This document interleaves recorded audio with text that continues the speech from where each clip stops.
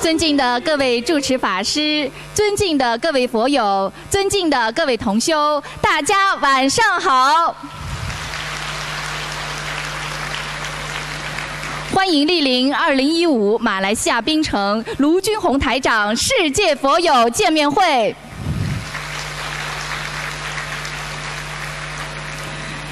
首先，恭喜今天前来参加拜师的世界各国的弟子们，感恩前来助缘的大法师们，也衷心感谢为本次盛会辛勤付出的佛友们、义工们，感恩大家。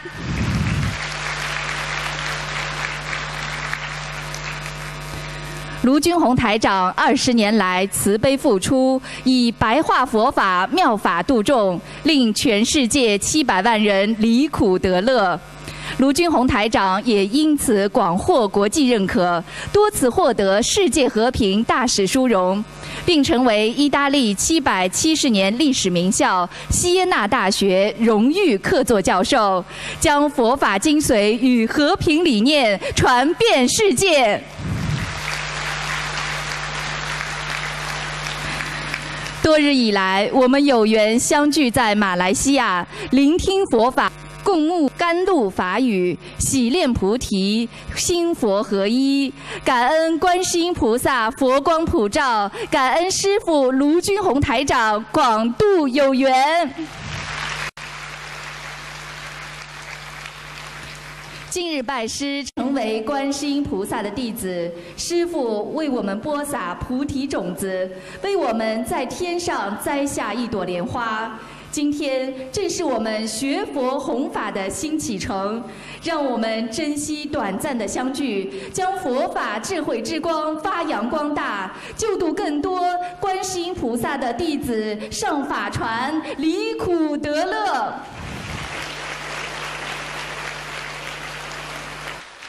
现在，让我们用最热烈的掌声，恭请尊敬的卢军宏台长为我们慈悲开示。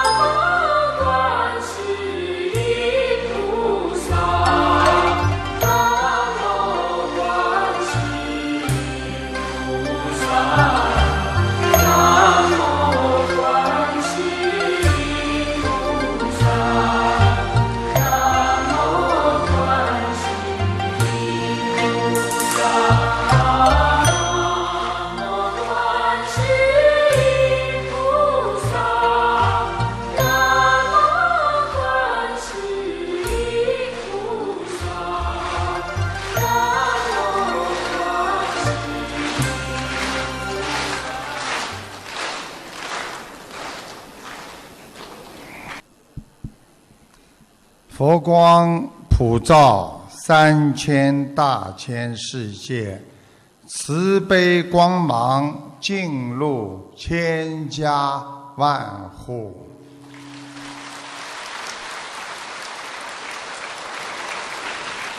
感恩大慈大悲救苦救难的观世音菩萨，感恩龙天护法诸位菩萨有缘加持，让我们冰城这几天法喜充满，莲花朵朵开放。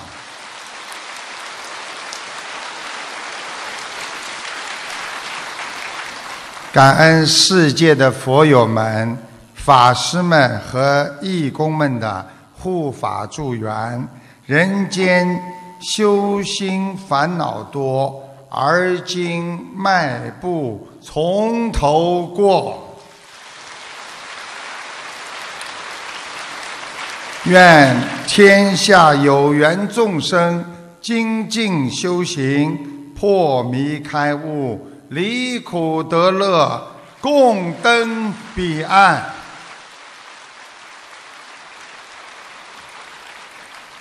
莲花实际上象征着人的心，慈悲是人心所造，常行善得善缘，常慈悲得佛缘。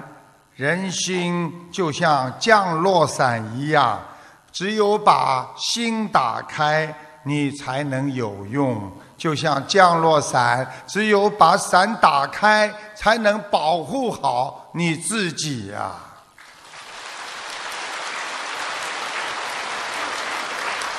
人世间的自闭症、忧郁症、恐惧症，已经严重影响的我们人们的正常生活。马来西亚有《光明日报》报道。有一名患有忧郁症的华人妇女，啊，在前不久一周前，啊，割脉自杀不成。二十四号趁家人熟睡，在家中再次割脉割喉，结果死亡。住在和清园弥兰路上，同样的事情。在海外的华人，在纽约一个月内当中，连续发生了三宗华人自杀案，都是忧郁症，均为男性。所以，忧郁症在全世界有三点五亿人呐，每年自杀死亡人数是一百万人呐。想一想，想不通，我们就会痛苦、忧郁、担心，就会恐惧、嗔恨，会使人觉得世界上没有一个是好人，而自闭。所以需要大家语论之语露之论和苗状。我们有了观世音菩萨的甘露水。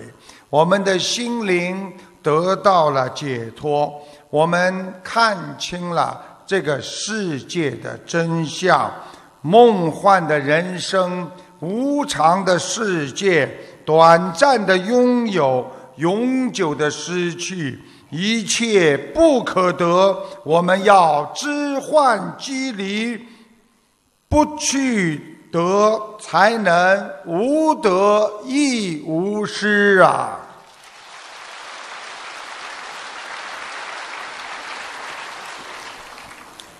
今天又有五百名我们的佛友拜师，他们又写了很多看到的菩萨来的，一片比一片精彩。我只能摘录一点点给大家念念。一生中最殊胜的一天，在两年前开始的。他一念经就梦见。师傅穿的一身黄缎子的衣服，整个房间金光闪闪。我跪拜在师傅面前说：“师傅，请收下我为徒。”师傅说：“你回去好好的修。”就这样，经过了两年学佛、念经、弘法度人，我今天终于拜师成功。他说：“我。”在拜师现场，所有的弟子都看见他们在云上。我看见远处飘来许许多多的仙女菩萨，由远至近，由小至大。排在第一位的仙女，他们都非常的开心。他们在我们每位弟子的头上点了一下。而且仙女菩萨来的时候都是 S 型的。过了一会儿，阿弥陀佛和观世音菩萨来到我的面前，很大很大，都是白的。阿弥陀佛的头发有一个一个的小卷。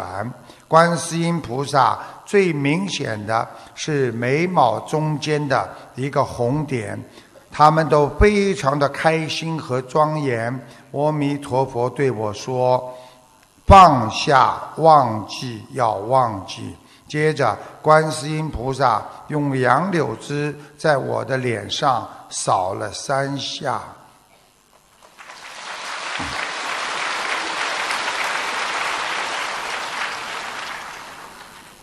哦，这是马来西亚弟子八生的，叫徐玉梅。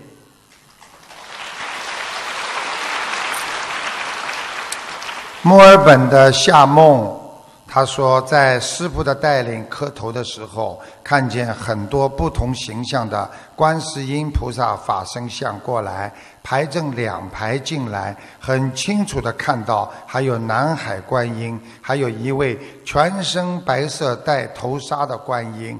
磕头的时候，白纱观音在台上一直在微笑，对台长双手合十。台长边上还有很多护法神。在拜师前，酒店上方的天上有很多菩萨。还有很多的莲花，有些含苞欲放的，很漂亮。菩萨在天上围在一起看我们，天上还有很多龙。记住了，菩萨天天在天上看着我们呢。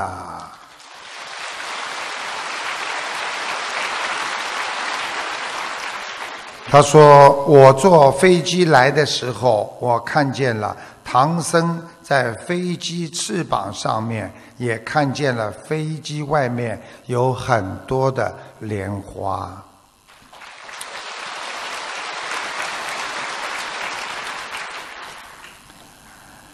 太多了，只能大概的。他说他念到第六遍的经的时候。他闭目，眼前出现了好多佛菩萨在我们的饭店的天上，那种感觉好像在看《西游记》的蟠桃大会一样盛况。一会儿，阿弥陀佛。大势至菩萨、弥勒佛都现在我眼前。此时我的眼睛模糊了，因为我哭了，我太感动了。这么多的菩萨来看我们，来关心我们，太他太感动了，所以他来不及把眼泪擦掉。师傅在为弟子集体加持的时候，当师傅双手张开的时候，竟是一朵大莲花，一直大，一直大，大到整个会场，我嘴巴都看到张开合不拢，心里哇，不可思议了。接着，在师傅的右上方，一尊一尊佛菩萨踩着一朵一朵的莲花飘下来，布满整个会场。原来好冷的身体，因为冷气太冷了，顿时身体内开始热起来了。这是麻坡，马来西亚麻坡的同修叫吴静茹。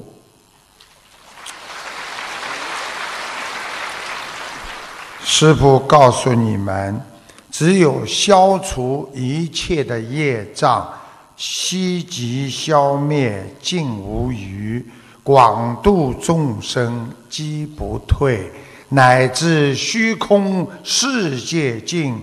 众生极业烦恼尽，才能即息回向阿耨多罗三藐三菩提呀！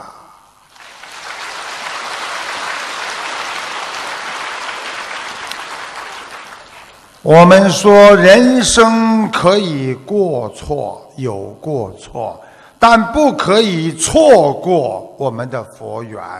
佛法难闻。我们不是没有好的机会，是我们没有好的观念，我们遗失了很多好的机会，不能在人间，我们跟着那些潮流的所见所闻来改变我们的一生，你会不知不觉的断绝你的一生的。所以一定要好好的学佛，不能在人间随波逐流，让自己的本性流失，让自己的慧命毁灭。所以，拥有慧命、拥有佛法的人，他就是一个智慧之人，就是一个能够以后拥有抱负、能够上天的菩萨之人呐。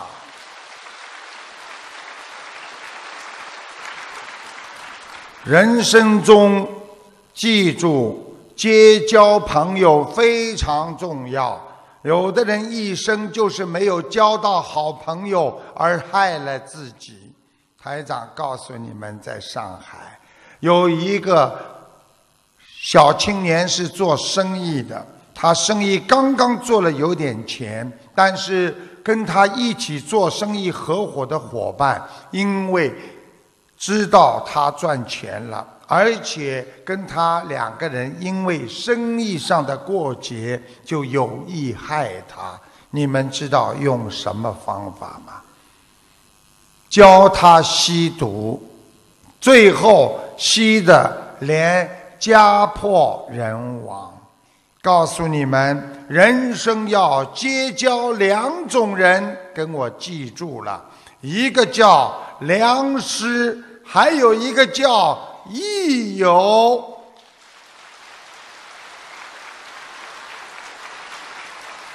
好好的去找一些能够帮助你们的良师，好好的去寻找我们佛友当中真正能够帮助我们学佛的益友吧。师父告诉你们，在人间还要学会两种本领，第一个。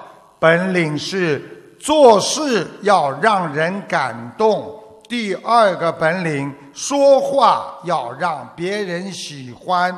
记住，学会吃得下两样东西，一定要吃得下。第一个叫吃苦，第二个要吃亏。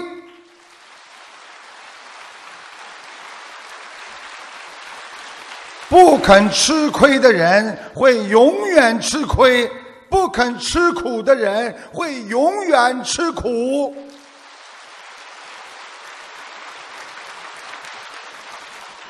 在浙江省秦县，啊，有一个人，他对他的父母亲很孝顺，这是很久很久以前的古代的故事。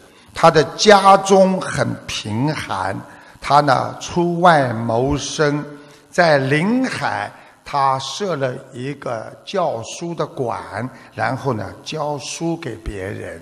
有一天，他做了一个梦，他梦见自己的父亲病重来看他。台长告诉你们，如果你们梦见有家人或者朋友，来看你，说明他的魂魄已经时而离开他的肉身了。因为古时候通讯没有那么发达，所以他做到这个梦之后，他很快的就想回家去看看。在回家的途中，突然他遇到了一只老虎。由于他心中是孝顺，他只想着自己的父亲，他根本不怕老虎，并对老虎说：“我父亲病重，愿老虎能够怜悯我吧，你不要挡路吧，求求你了。”就是因为他这种诚心，奇怪啊，老虎好像听得懂他的话一样，哎。让开了，慢慢的调转头走了。回到家，本来已经昏迷不醒的老父亲，突然知道儿子来了，看到儿子，他醒过来了，老泪纵横的说：“儿啊，是不是你遇上老虎了？我刚刚被拉到冥府啊。”听到冥府的官员在说：“我本已命终啊，但是因为儿子孝顺，猛虎退避，冥司他说特给我延寿命一计。后来他父亲的病果然痊愈，过了十二年之后才过世。台长告诉你们。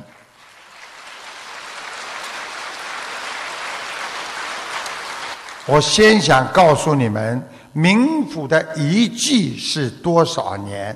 如果冥府说给你延一季，就是十二年。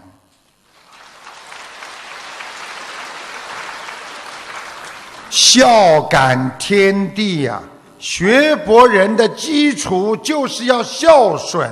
所以我们今天首先想学佛，就要对得起自己的父母亲，对得起别人呐。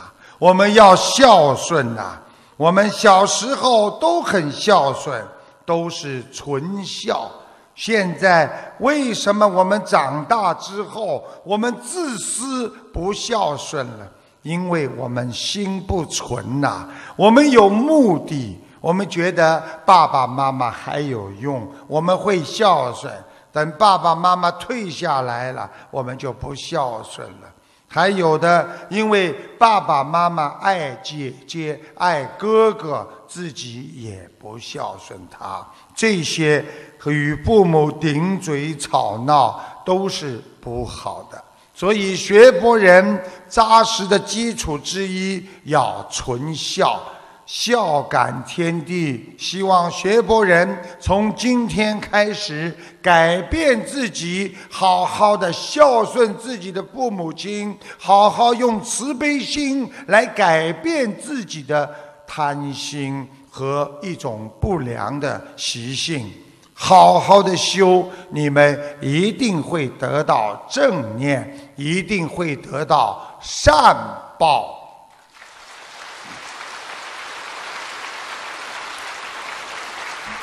我们说，一双鞋子，新鞋子，刚刚买来的时候，只要沾上一点点灰，你会低下头来把它擦干净的。但穿了太久之后，即使你被别人踩上一脚，你也很少会低头去擦拭它。也就是说。你如果长时间的不开智慧，你一定会愚痴。一个经常搞不清楚的人，他可能一辈子都搞不清楚。希望你们学佛人从今天开始就破迷开悟，把世界上真正的本性搞清楚、搞懂。那是个梦幻世界，一定要懂得真修实修，我们才能脱离苦海啊！记住了。一个人长时间的自私，一会一定会变得非常的贪婪；长时间的争吵和争斗，一定会让你变得非常的嗔恨。一个不做好事的人，一定是个自私自利的人；没有慈悲心的人，一定会变成一个坏人。学佛，记住，学佛不是一个条件，而是一个信念。成功不是靠的方法，而是靠着你的想法。学佛人必须有好的理念。记住了，智慧来自于正确的人生价值观和你拥有智慧的观念呐。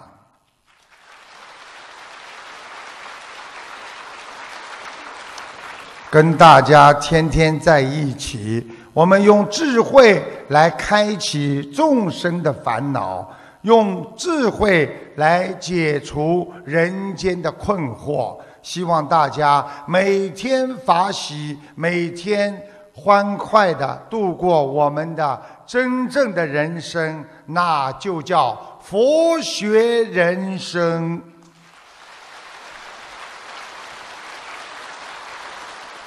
生命必须要活在希望当中，帮助众生离苦得乐，我们人就有希望。我们闻到了佛法，天天活着，觉得有希望了，这样才是你的生命的所在。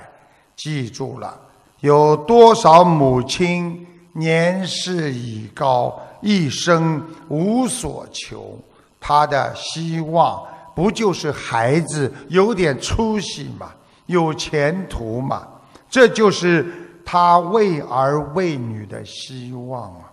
台长希望学博人要学习母亲爱孩子的精神，只不过在母亲爱孩子的基础上，把它不断的提升和扩大。由小爱转成大爱，为天下所有的儿女祈福，为天下所有的父母亲而活着。你一定会活在人间的希望大道上。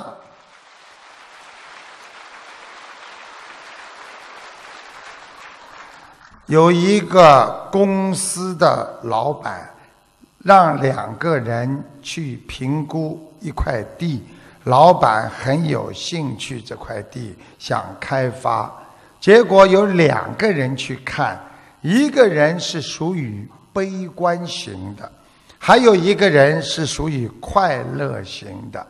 这个悲观型的人他去了，说：“哎，老板呐，那个地方全是活不了的树啊。”小河窄到人跨几步就可以过去，那儿的野草啊，长得已一人多高了。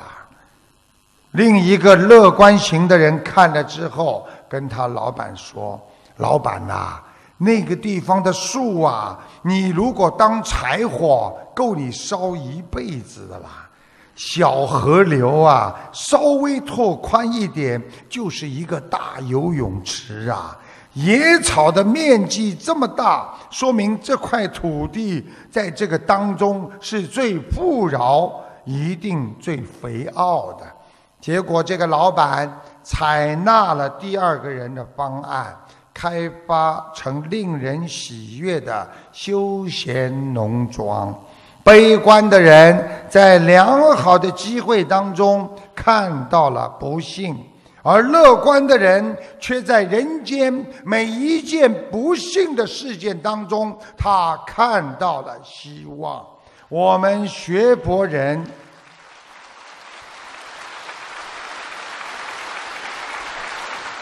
我们学佛人就是要在人生苦难当中看到希望。因为我们有菩萨，我们有佛法，所以我们心中要充满着希望。因为有希望的人活在这个世界上，才是一个有价值的人。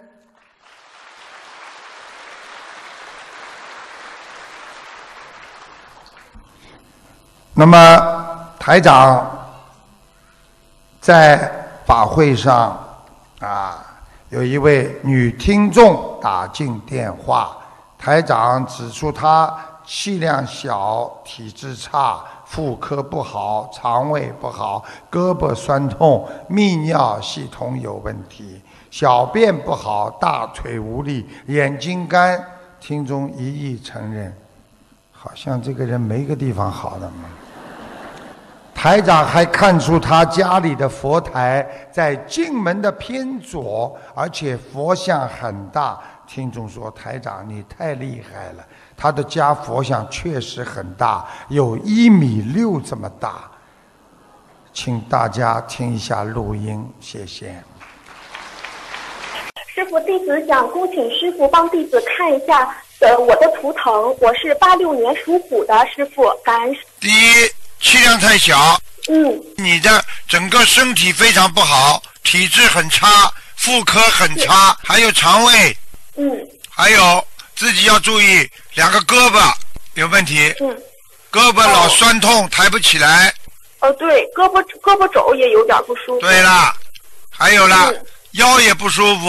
腰特别不好，是吧？啊，还有告诉你了，泌尿系统有问题，小便不好，哦，还有自己要注意，两个大腿没有力，嗯，站不了多少时间，关节就痛。哦是，啊是师傅，啊，眼睛干眼睛干的不得了。是的，是的，师傅，其他您说的全对。呃，师傅，那个您帮我看一下家里的佛台怎么样好吗？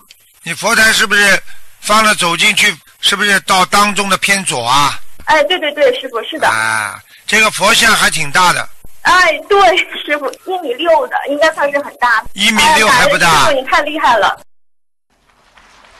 太厉害了！我过去不知道“太厉害”什么意思，后来广东人说卢台长，我说一句话：“你太厉害了。”我说我不厉害呀，我蛮好的嘛。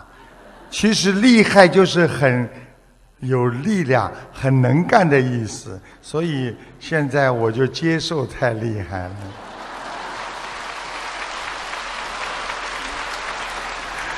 学佛人每天要生出善，也就是说，每一天要想我要怎么样帮助别人，要心里生出一种善良的东西，要让善每天增长。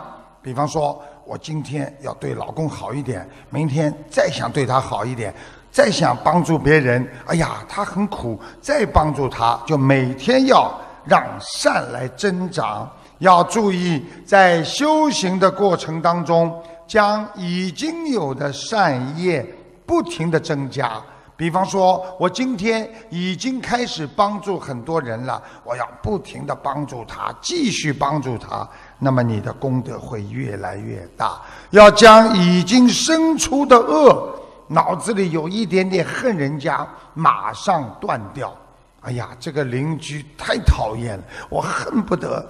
哦，不要不要，算了算了，我恨不得，哎，算了算了，要断掉。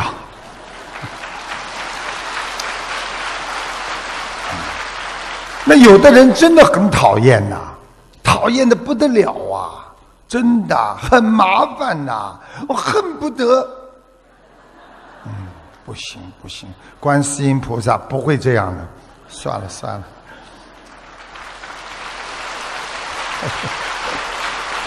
所以，人的心念正属阳，记住了。我今天要帮助别人，哇，你的属阳阳气就来了。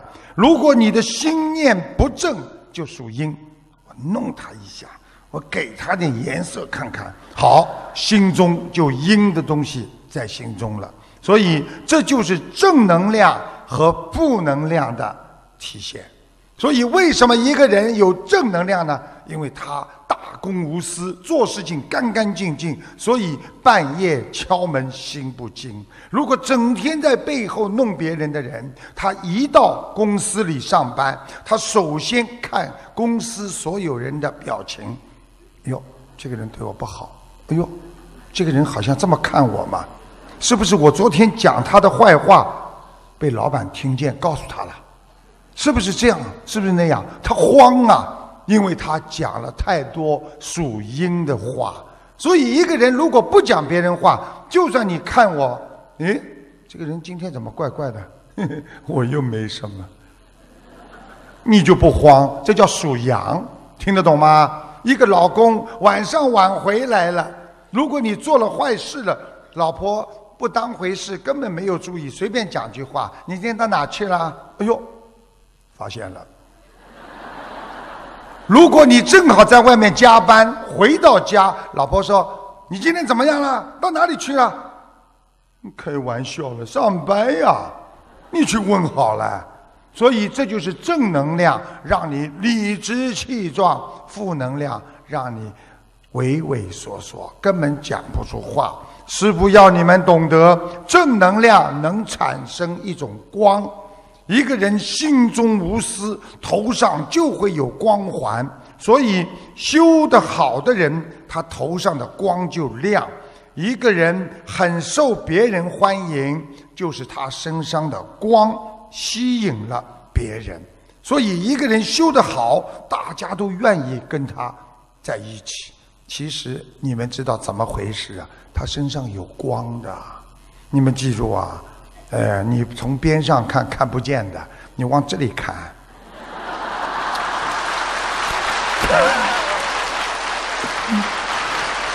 吸引了你们这么多人了吧？对不对呀？所以台长经常讲，一个人想照亮别人，首先自己要有光环。就像一个人点火炬一样，这个地方如果漆黑一片，你点燃了一个火炬，就是你心中明亮，那叫自修。很快的，你火炬就会熄灭，你这里又会黑暗。如果你把这个火炬传给二，传给三，点燃每一个人佛有的佛性。让每一个人都拥有一个光，等到你火炬没火的时候，这个世界照样是通亮。所以，为什么要救众生？就是救你自己呀！当你没有火的时候，你继续可以从别人身上借光，这就叫借光啊！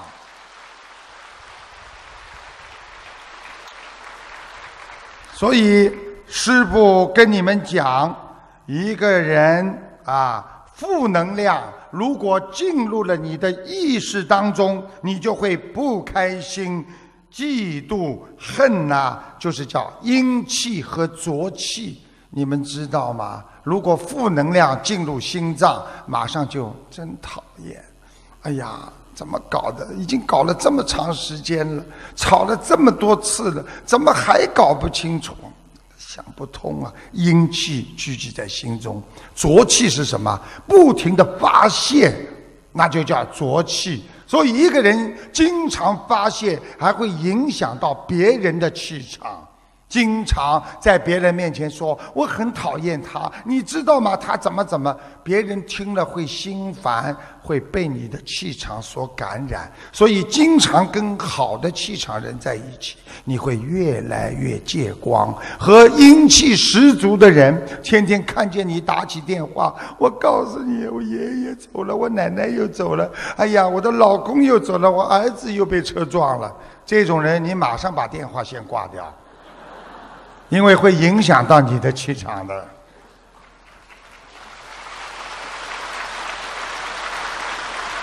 因为不好的气场会干扰你的正常生活。记住，快乐之人拥有的是正能量，所以你们快乐不快乐？你们就是拥有菩萨的正能量。忧愁之人。拥有的是负能量，长期的正能量让人走向光明；长期的负能量让人走入黑暗的生活。所以，我们要拥有佛菩萨的正能量，让自己每天活在快乐之中，每天活在天堂之下。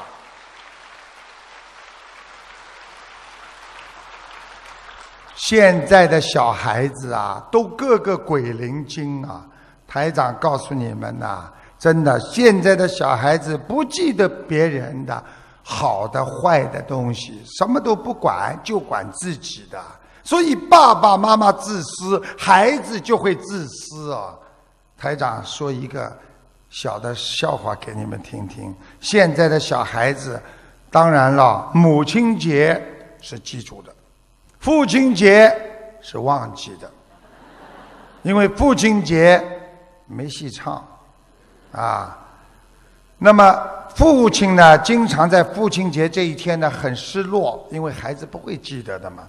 但是呢，在有一天的八月八号，有位父亲呢，正好在父亲节的时候，他坐在餐桌上和家人呢一起用餐，他心里很失落，没人提这个事情。这个时候呢，儿子突然之间，他他他跑到冰箱里了，在冰箱里翻呐翻呐，啊看呐看呐，哎，拿出来一样东西，啊放在下面，说：“爸爸，你知道今天是几月几号吗？”老爸心中暗暗窃喜啊，哎呀，儿子要给我礼物了。高兴的回答：“儿子，今天是八月八号啊。”儿子有点失望的说：“老爸，你看牛奶过期了。”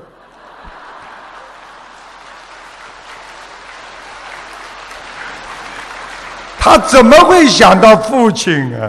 所以呀，因为妈妈天天在孩子面前要骂父亲的啊，你这个老不死的父亲，他从来不管我们母子两个的，你记住他干嘛？所以现在的妈妈给孩子的教育非常糟糕啊！师父希望你们不要在孩子面前说对方的不好，终有一天他大了，他会说你们两个不好的。要严于律己呀，要懂得现在的人要学佛讲究是无我啊，自己心中不能总有自我，所以从小就要培养孩子没有自己，要想着爸爸妈妈。很多孩子忘记大人的事情，主要来自于父母亲对事件的不重视。所以，师父告诉你们：人间，你如果不去尽责任、不尽义务，你心中恶缘就会产生。好的东西不去做，恶的东西就来找你。尽心尽责的去帮助别人，去度人，去让他开悟，让他解脱，这就是修行，这就是功德。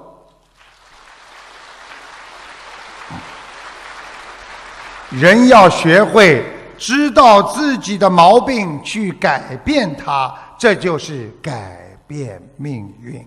毛病越多，命运越差；毛病越少，命运越好。修心修行，就是修掉你心中不好的弊病；就是修行，就是修掉你不好的行为。让我们每个人都把不好的行为去除，把不好的心态修除。那我们每个人干干净净，心中只有别人，我们就是人间菩萨呀。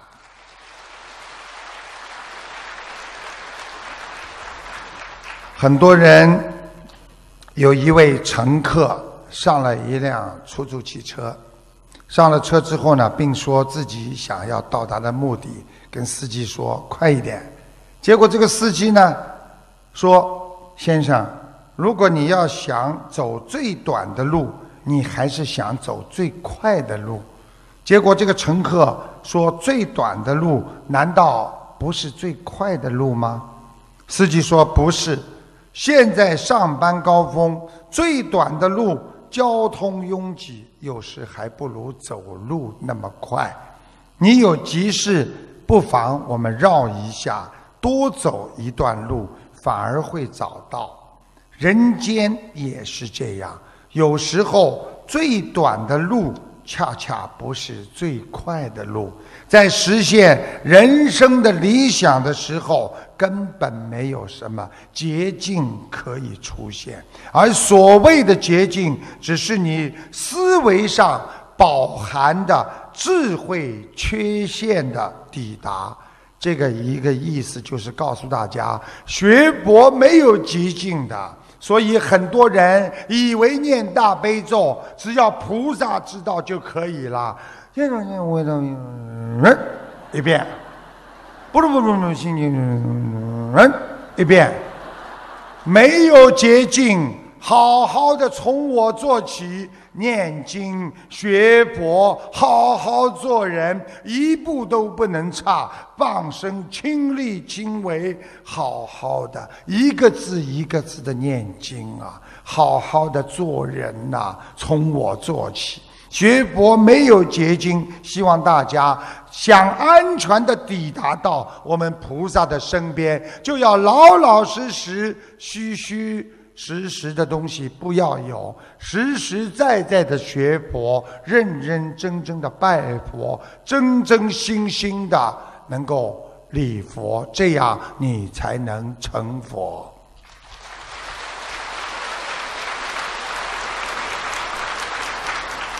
一位佛友二十八岁，只有二十八岁，到医院去检查，他检查的叫神经啊官能症。三十岁的时候再查，已经变成神经病了。好几个人压住他才能吃药，就说他神经病很厉害，神经病会因为有灵性在身上，它会产生一种很大的一种反弹力的。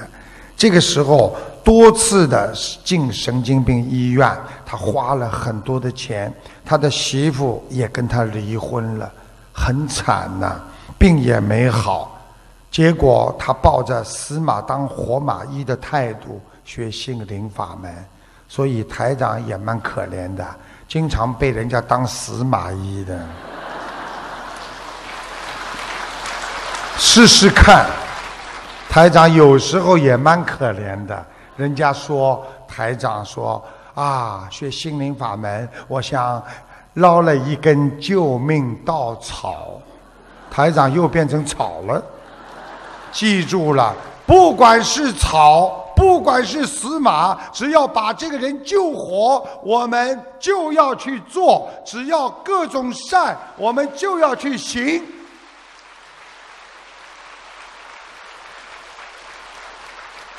刚刚这个故事还没跟你们讲完呢，台长太激动了，急不跟他离婚，病也没好，结果他抱着死马当活马医的态度学心灵法门，我又讲了一遍，他烧了小房子一千张，神经病好了，不胡言乱语，和正常人一样了。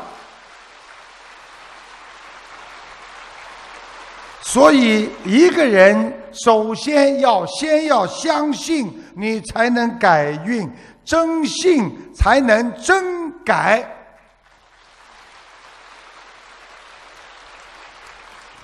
看不见自己的毛病，你这个人很快的就会看到别人身上的毛病。不知道自己多讨厌的人，看到别人。个个讨厌，所以你们下面有没有啊？这两天至少没看见别人讨厌吧？有没有啊？没有啊？不许看见人家讨厌，明白了吗？看见人家讨厌，你一定很讨厌；看见人家不顺眼，你肯定被人家看不顺眼。你想想看，你说人家怎么会看得起你顺眼呢？一定要看别人。个个都好，明白了吗？让别人一步，实际上就是让自己一步。人间一切都是虚无的，拥有后会失去，失去后又会拥有。随缘行，有也行，没有也行，不追不求，有的是自然，没有是因缘。不为人间一切动心，心才能如如不动，这才叫看破放下。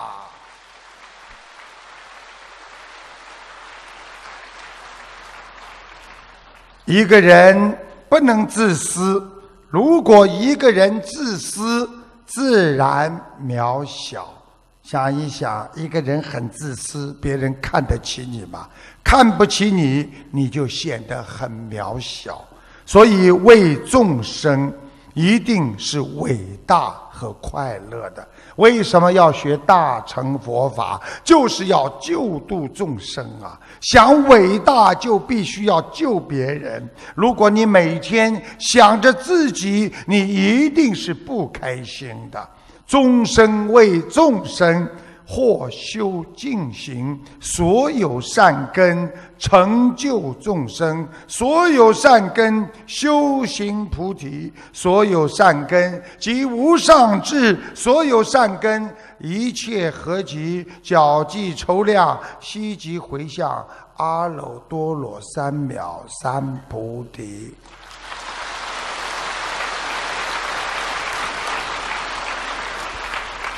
阿耨多罗什么意思啊？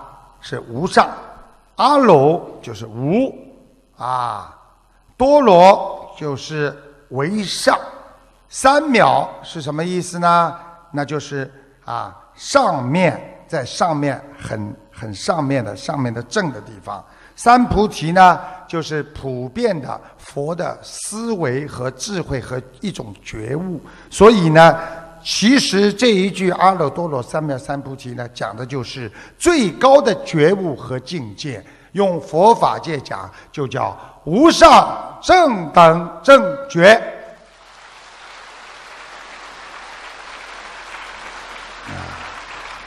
所以我也不能天天跟你们说佛法，我只能掺在里面跟你们讲一讲，你们就觉得很开心。啊，全部讲了听不懂，全部讲白话佛法，很多人说嘿嘿，我学的蛮好的嘛，听得懂吗？期末考试，生物学的一个教授发试卷前对二十位学生说：“同学们，我很高兴。”这个学期教你们，我知道你们都很努力，而且马上就要进入医学院。我提议一个方法：任何一位同学，如果今天愿意退出考试，将获得及格，可以毕业。结果同学们非常的欣喜万分呐！哎呀！不要考试，毕业了。好，很多同学走到教授的面前签字，谢谢教授，走了。还有谁？一个一个都走了。这是最后的机会了啊，同学们！又有一个签名走了。教授看着最后留下来的几个学生，对他们说：“你们这几位同学。”我告诉你们，我对你们的自信感到高兴。你们全部得到考试优秀的分数，你们也不要考试了。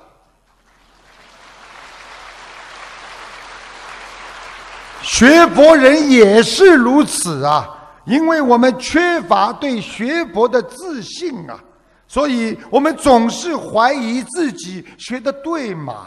啊，我今天可以吗？求菩萨灵不灵啊？就是没有愿力，就是没有自信力。我们不努力，就会失去很多拥有智慧的机会呀。所以人要努力呀。如果不努力，你会离佛越来越远的。所以学佛人只有精进向前，才不会。永不退转，才不永不轮回。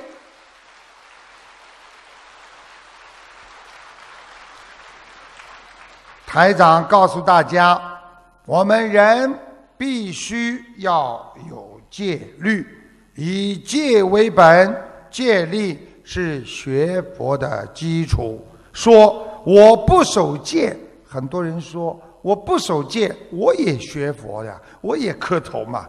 此人一定不实修。你们记住，有谁一边杀盗淫妄酒，一边说我修心修得很好？实际上，守戒就是守规矩。现在讲叫遵纪守法一样。你不实修，一定会不守戒。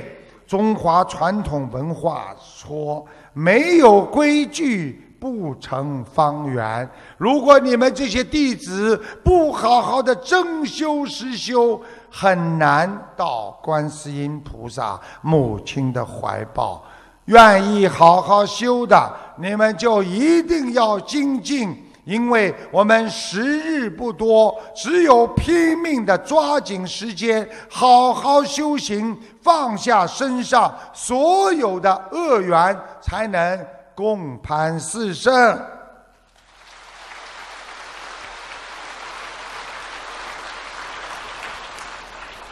有一位阔少爷，他开车超速，这种人呐，真的年轻人呐。被警察拦住，他很不情愿地停在路边。这个警察走过来，刚要说话，这个小青年先说了：“你知道我爸爸是谁吗？”警察说：“这个我可帮不了你忙，你最好去问问你妈妈，你妈妈一定知道。”所以，一个不守戒又不懂规矩的当今的年轻人。就是要学佛，就是要学自律，所以台长天天在大声疾呼：年轻人要守规矩啊！我们一定要守戒，我们才能学好佛；我们一定要守戒，才能做好人，才能做好事。好人好事就是我们上天学佛的基本点呐。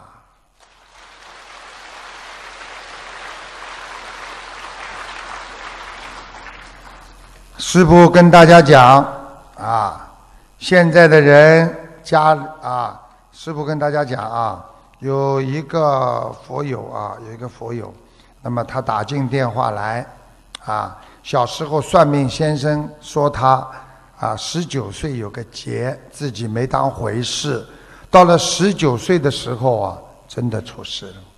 查出来慢性肾炎，严重皮肤病，一度很想不开了。后来遇上了心灵法门，通过念经放生许愿，他慢性的肾炎逐渐好了。皮肤病啊，人家别人啊跟他一样的病啊，同样在医院里花了近二十万。人民币都没有好转，他只花了两千多元，后来通过念经小房子明显好转。他说：“如果没有心灵法门，自己都死一百次了。”请大家听一下这个录音。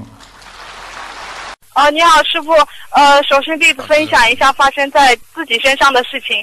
很小的时候，算命先生就说，呃，在我十九岁的时候会遇到一个劫难，后来都没当回事情。然后去年十九岁的时候就查出来肾炎和严重的皮肤病，然后经常做梦去杀别人，被别人追杀，很恐怖。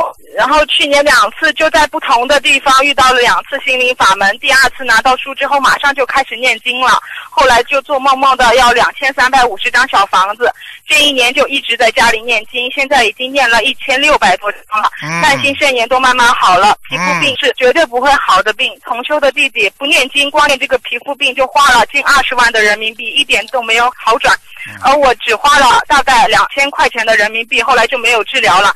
坚信心法门念小房子已经好很多了，虽然业障很重，还有很多方面没有完全好，但是弟子一定会努力下去，跟着师傅好好修，做好观世音菩萨妈妈的千手千眼。你的气场啊，我告诉你，你这个人一定会自杀的，你听得懂吗？对的，如果没有心灵法门，我都死一百次了。我因为以前是一个很好强的小姑娘，但是就是自从生病以后，就就是不跟大家在一起说话什么的，然后就遇到心灵法门，就觉得有这么好的师傅，有这么好的师兄，是真的很感恩。对啦，要珍惜啊，听得懂吗，傻姑娘？明白明白，有以后我一定会改毛病，一定会好好修。对了。看看现在的年轻人，如果能够把他们个个救成这样，师傅也心安了。现在学心灵法门，多少年轻人呐，有希望啦，有希望啦！人的一生不是算来的，也不是求来的，记住，人的一生是修来的。人的一生是积善积德而来呀，人生每一步走来都是需要付出代价的。每次在人间得到了想要的，你一定会失去自己不想失去的东西呀。所以，一个人失去很痛苦，得到就要当心了。不去得到太多的东西，就不会去承受失去的痛苦。人总是担心自己的未来，但是总是不珍惜现在的幸福。想一想，是不是这样？一边在伤害自己，一边又怕自己被人伤害。所以，人要反思，要忏悔，要常念礼佛大忏悔文。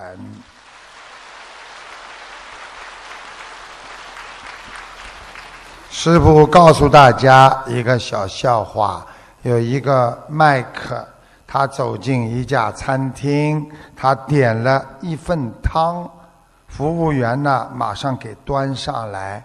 服务员一走，麦克就说：“啊，对不起，这个汤我没办法喝。”服务员又换了一盘端上来，这个麦克又说：“哎，先生，这个。”我不能喝呀！服务员就把经理叫来了。经理毕恭毕敬的向麦克说：“先生，这菜是本店最拿手、最受欢迎、最好的呀。”麦克说：“经理呀，调羹在哪里呀？怎么不笑啊？用手喝啊！记住。”我们做人要懂得有错就改，因为有时候我们不知道自己错在哪里呀，我们不知道错在哪里，还不愿意听别人讲啊，所以最好是常常，有时候改掉了正确的，留下了错误，只会让自己错上加错呀。师傅讲的话经典呐，好好学啦！师傅告诉你们，这个世界上只有想不通的人，没有走不通的路。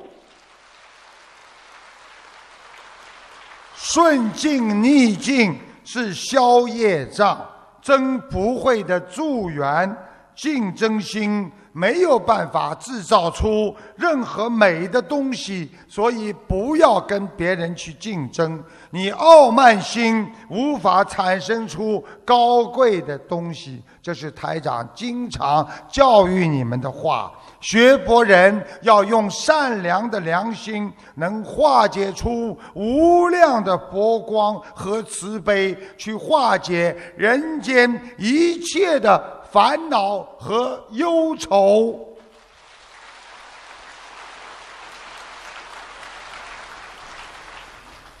太多的担心，有时候会阻碍你学佛的障碍。学佛人首先要学会放弃人间的利益，人间的名利得的越多，记住了，你上天的机会越少。你放弃人间的利益越多，你上天的机会越大。好好的学会放下，好好的懂得悟道之人逢苦不忧，一切境界得失从缘。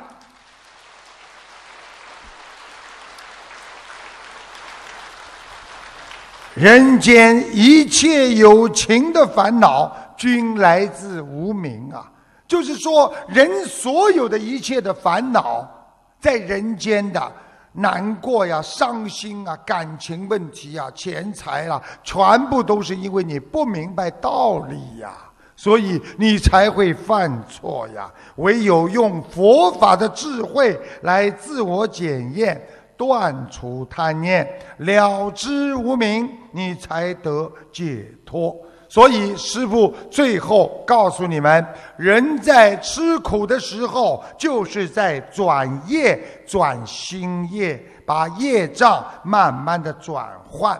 我们要把人生活当中的一切苦难化为一切快乐，以苦为乐，就如如苦修心，如记住苦是快乐的因。提升境界，快乐是苦的果，有时候我们就是要吃点苦，我们才能变得更快乐。因为我们知道吃苦了，我们才会珍惜快乐。